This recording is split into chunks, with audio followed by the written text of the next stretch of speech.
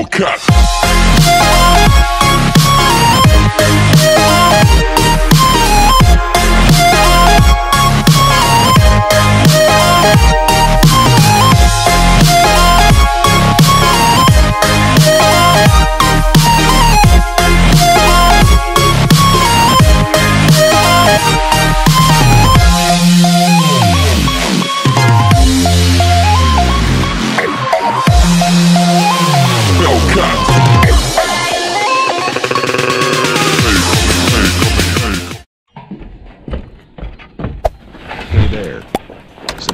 To my channel.